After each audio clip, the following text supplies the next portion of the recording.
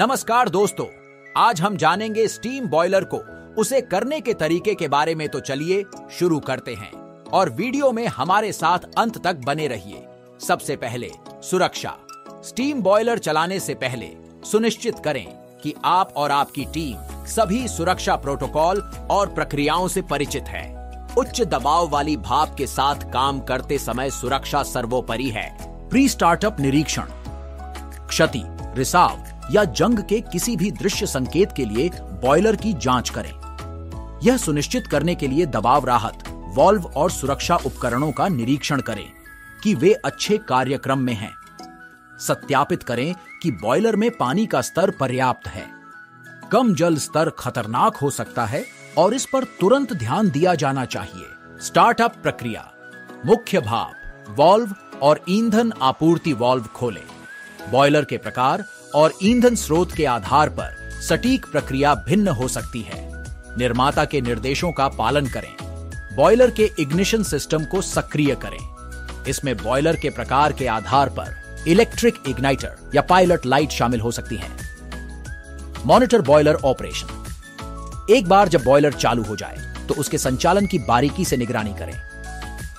दबाव गेज, तापमान संकेतक और किसी भी असामान्य आवाज़ या कंपन पर ध्यान दें। वांछित भाप दबाव और तापमान बनाए रखने के लिए बर्नर नियंत्रण समायोजित करें। इसके लिए ईंधन आपूर्ति और वायु सेवन को विनियमित करने की आवश्यकता हो सकती है।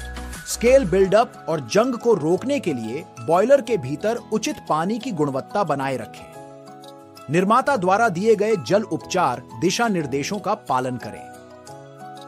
बॉयलर फ़ीड पानी। बॉयलर को फ़ीड वाटर की निरंतर आपूर्ति सुनिश्चित करें। इसे स्वचालित फ़ीड वाटर प्रणाली या मैनुअल निगरानी और समायोजन के माध्यम से प्राप्त किया जा सकता है। ब्लो डाउन प्रक्रिया, अशुद्धियों को दूर करने और तलछट के निर्माण को रोकने के लिए समय समय पर बॉयलर को ब्लो डाउन करें। नियमित ब्लो डाउन शेड्यूल का पालन करें।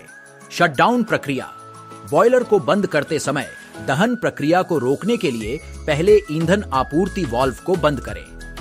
मुख्य भाप वॉल्व को बंद करके धीरे धीरे भाप का दबाव कम करें।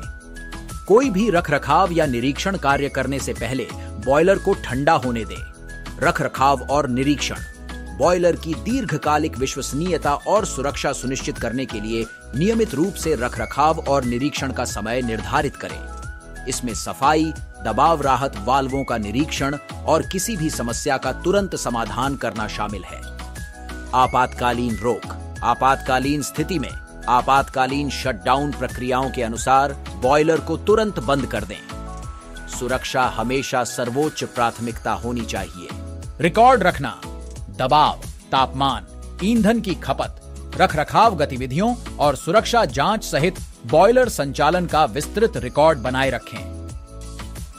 विनियमों का अनुपालन, सुनिश्चित करें कि आपके स्टीम बॉयलर का संचालन सुरक्षा कोड और उत्सर्जन मानकों सहित